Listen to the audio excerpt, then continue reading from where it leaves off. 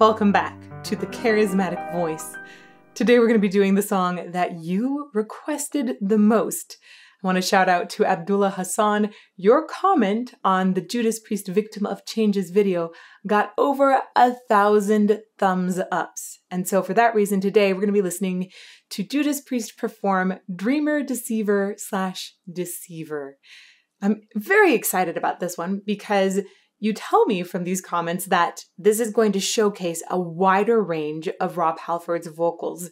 And this is some sort of power ballad I've read. I think it's going to be really cool, especially cool for me right now as we're getting ready to go to Bloodstock and we're going to be hearing Rob Halford live there. So I really want to hear more of his catalog before I get that live treat. Let's get to it.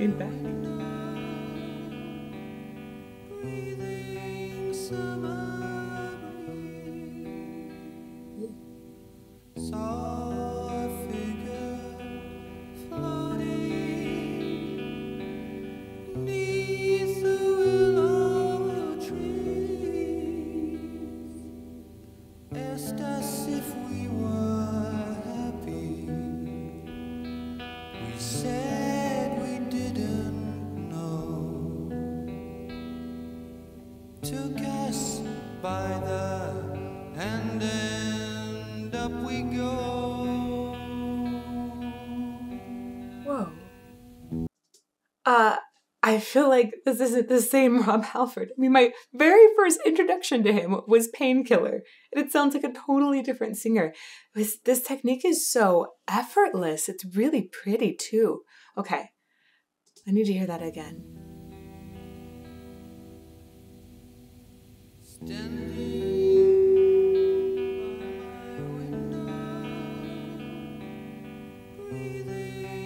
I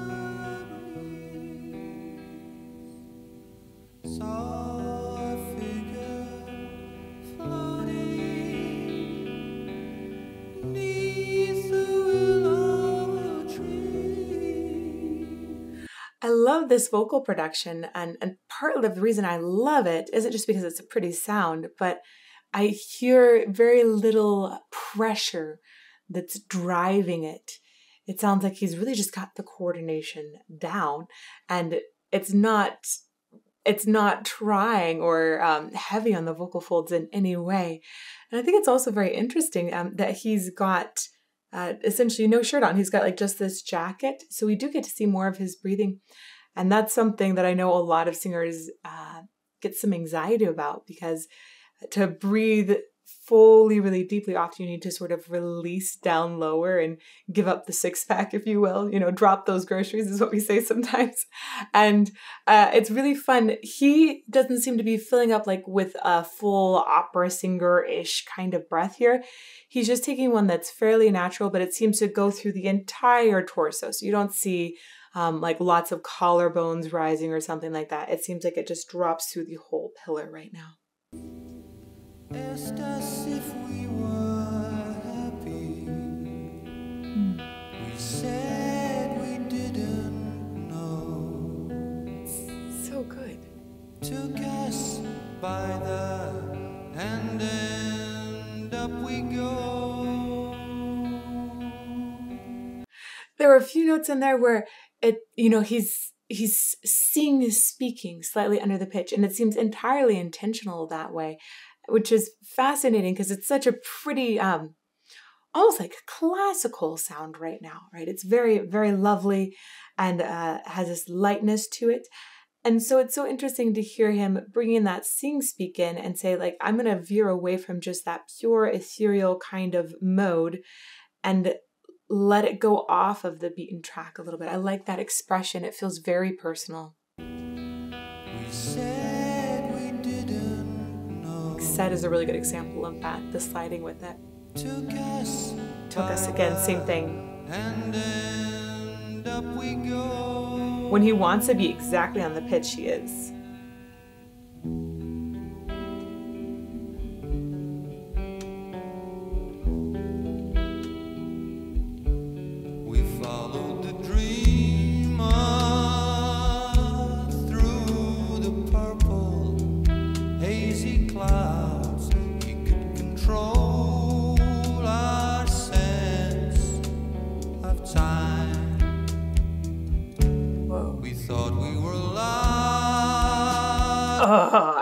Loved that instrumental backing there. That was really cool.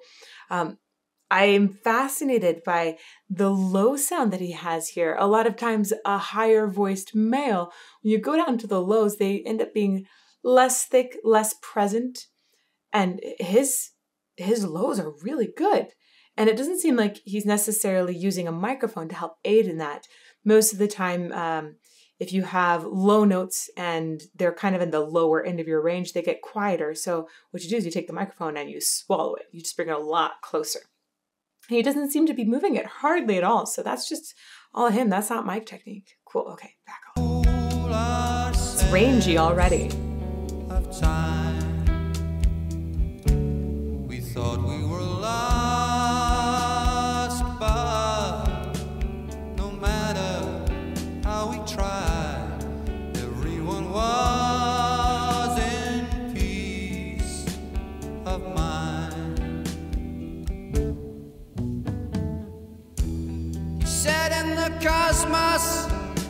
A single sonic sound that is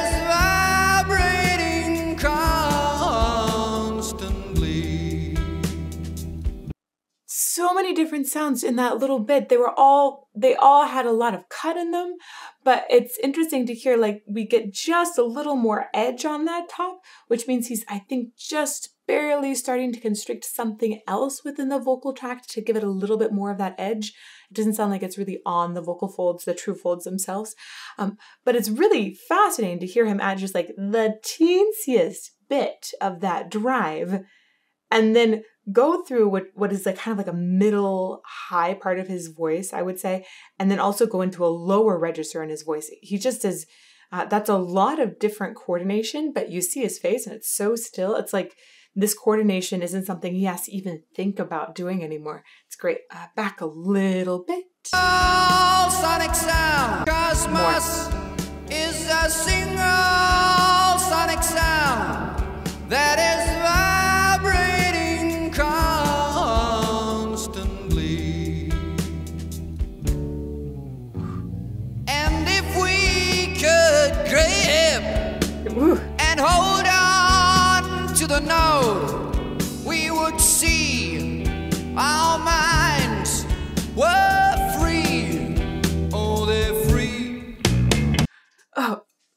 cool, cool, stylings here. Um, you guys know that I love Dio so much, and a lot of times he does little toss offs, and it's fascinating. Rob Halford right here did a bunch of toss offs right in a row, and then stuck free.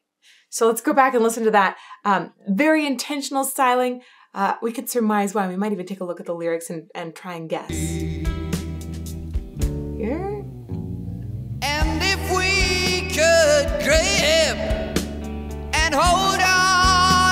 The node, we Toss would again. see Toss. our minds were free. Oh, Toss. they're free. and then stick it. So this is fascinating. Um, let's see. It's and if we could grip, and he tossed grip, grip, and hold on. I think that might have been another toss to the note. So it's so funny. Each of these, I guess, if you think of gripping and holding on to a note, you don't want to let it out. But it seems like maybe because he's tossing off each one, it lets it isn't possible to maybe to grip and hold on to the note. We would see our minds were free.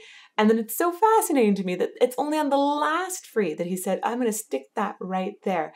It's very expressive. It seems very deliberate to me, um, as if he was looking for even more to express beyond what those written lyrics are. I'm really curious uh, if you all would please, I'd love to hear your interpretations of why he chose that styling to apply to these lyrics. Let's keep going for now.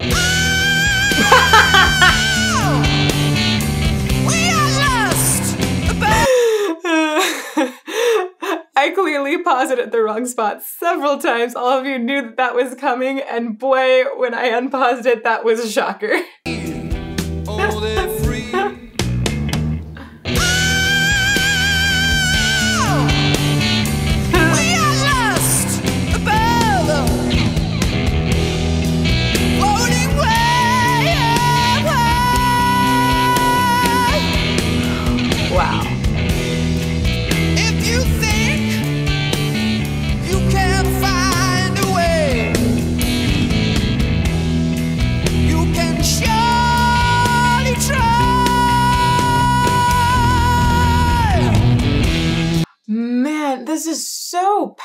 powerful. His vocal control is off the charts here. I I'm trying to figure out what all he's engaging to make these sounds. They, they are good. Those are really powerful sounds up there. Whew.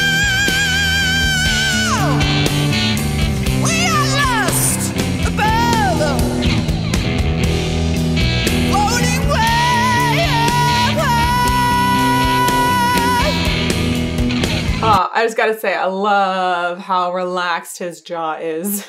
I know it's one of those things where you're like, really? That's what you're gonna compliment? But yes, look at that mouth space. It's gorgeous.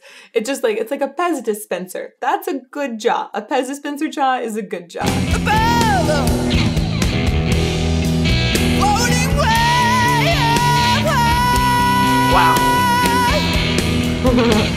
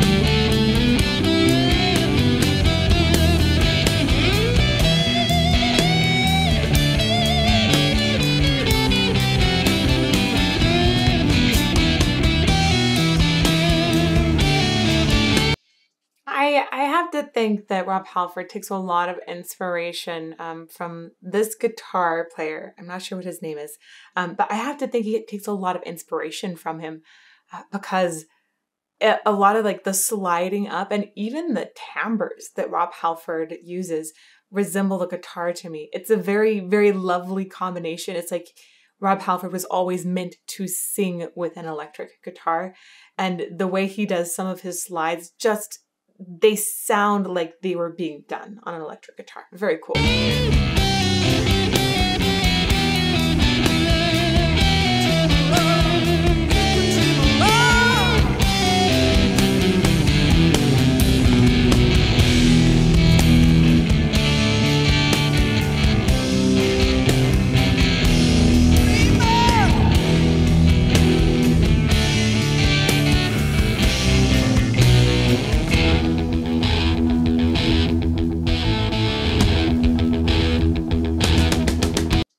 Okay, so I think this might be going into the next movement into just Deceiver. I'm not sure though.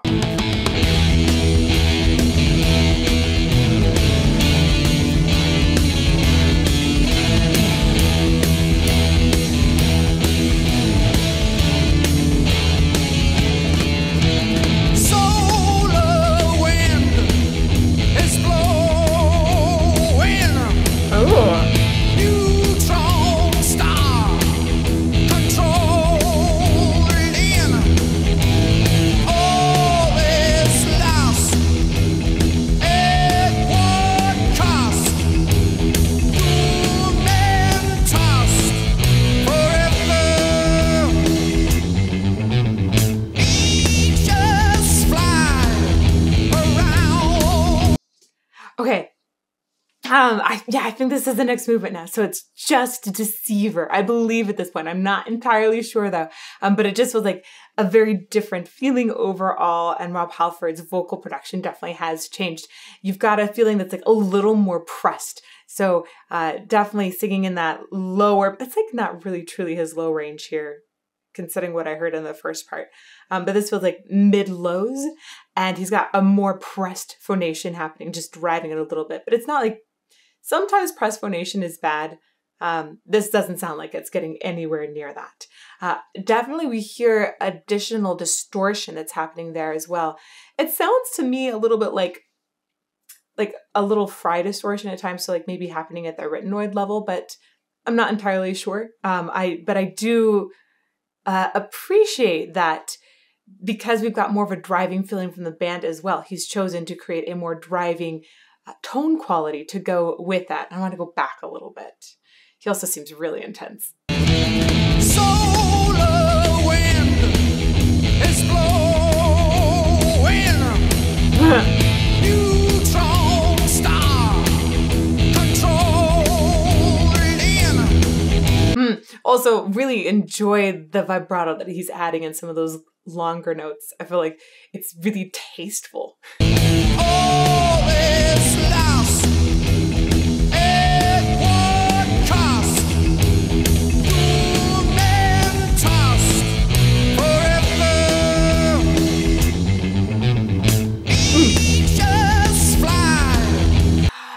He has so much piercing with that E vowel up there. Uh, and that's something I've noticed in some of his other songs too. When he gets up to high and especially E, instead of veering away from that, like many singers would choose to do, um, they would say, "Oh no, that's too harsh of a sound. It, you know, it slaps you in the face too much." He leans into it. It, he likes having that aggressive sound going. It's very fascinating to me, especially coming from a classical background where if we had an eval like that, they'd be like, uh uh nope, doesn't work. And they would say, okay, go round your lips, you know, make this sound a little bit darker, a little smoother. And it's just wonderful to hear somebody say, no, I'm to really embrace this crazy, bright E vowel and I'm going to put it into this kind of music where the drive uh, actually supports having a bright, bright E vowel like that. It's fascinating. Let's go back one more time.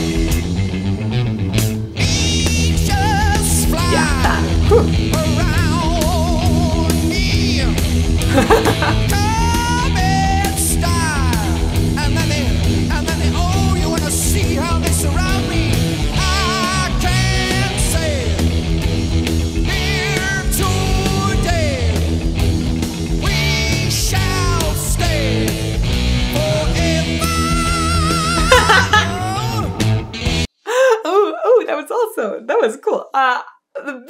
I was picking up until he went up to that high jump was this intensity. I love the way he's just like staring down the camera, right? Oh my goodness, he's very intense, very, very focused. That octave jump that he did up, uh, it's, it's just crazy to me how easy all of his range is. He's got a very, very wide range. And when he hopped up there, it sounds like he's going into a reinforced falsetto to me, but it also his voice is uh, tricky. And I told you earlier, I was listening to it and thinking like, how, what all is he using here? Because sometimes it sounds like he's gone up and he's in head or mixed voice, kind of depending on where your background and vocal registers come from. Um, so he's up there essentially in his full voice before flipping over to falsetto. And it sounds like he can lighten that up, um, like make it more slender, but still more laser powerful. He's able to do that before flipping into falsetto. But when he is in falsetto, he also is able to do something called reinforcing the falsetto to give it more power. So it sounded to me like he had that break and he flipped up here. Um, but I'm just so amazed by uh, it sounds like he can really fluidly move around in that upper register. I'm guessing he'd be able to, to completely disguise any break or shift because of the way he's able to uh, lighten up both that top of his full voice and reinforce his falsetto. And then when he also adds a little bit of that uh, distortion, that adds to being able to disguise any sort of break as well. It's very, very good. Uh, back over time. Oh, goodness. Go ahead. We shall stay also, it's like got like just like one eyebrow that does it. I feel I feel a kinship here, man. Here today, we shall stay forever. Just that one. and the uh at the end is wonderful, organic, just true awesome sound.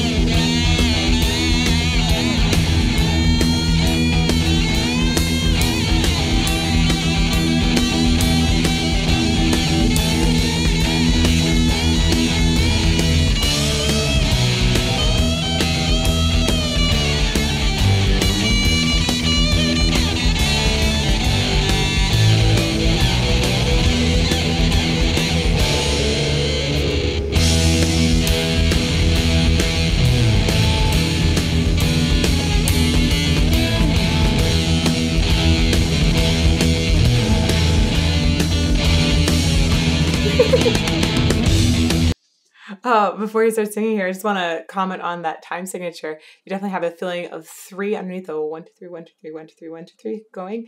And it sounds like it's actually probably a six, eight. So one, two, three, four, five, six. The eight on the bottom of that time signature, by the way, means that you have a subdivision of three that's happening within it. And when you have that subdivision of three, it also often represents a lot of movement. You hear that with like ships rowing back and forth, with galloping. Um, definitely I feel like more of a gallopy movement going on in this, which is also helping to drive the song forward.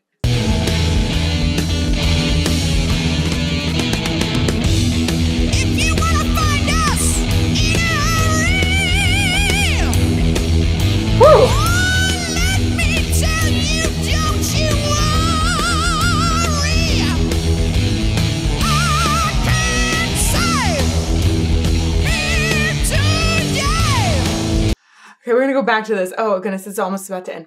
I'm fascinated by the vibrato he has in here. It's a wider vibrato that's happening with Fry at the top, and it's just vibrato is often sort of an opposition of muscles in the larynx. It can be created in other ways as well, but this one, it's really interesting to hear how he can let go while having something that a sound that would have a lot of natural tension necessarily be in it. It's so interesting to hear how he can let go and let that wobble just kind of come in. Let me tell you, don't you worry. I want to hear it again. It's crazy. Woo!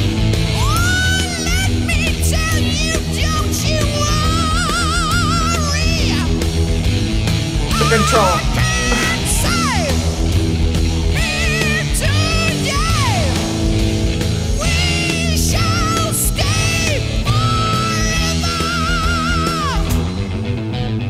Ooh. Wow. I want to go back one more time for that ending. I I just immensely appreciate the amount of control he has over so many different aspects of his voice. Whether it's leaving really open, there's times when it sounds like he had more pharyngeal space. Right here, it sounds like he has like very little pharyngeal space to make that sound just come out, have so much twang in it. And then at the same time, he's able to relax and let in this vibrato.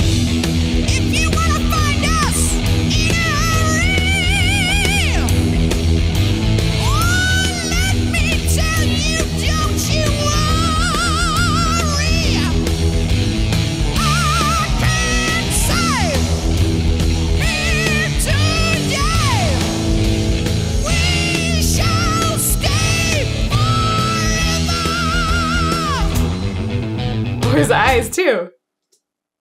Whoa. I feel like we barely brushed the surface of this song. And even though it's supposed to be one of the songs that shows the most range of Rob Halford, I feel like it's also just barely the surface of what he can do, especially knowing that he's continued for a very long career. It's very impressive. I wanted to talk about one of the lines, which I didn't discuss during the first time through, which I found so beautiful. It's uh, he said in the cosmos is a single sonic sound that is vibrating constantly. And I love that partly because Rob Halford is a person singing it, and Rob Halford knows how to make those vibrations happen here and make his vocal folds go wacka wacka wacka in a really perfect way, depending on what kind of sound he wants to produce. You know, it can be open or can be more pressed.